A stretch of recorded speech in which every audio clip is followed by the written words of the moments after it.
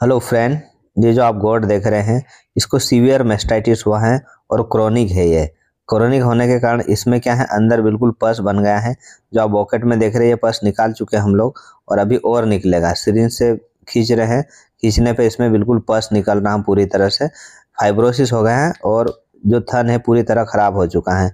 अब थन तो ख़राब हो चुका है, लेकिन इसका जो इन्फेक्शन है, वो दूसरे थन तक नहीं जाए।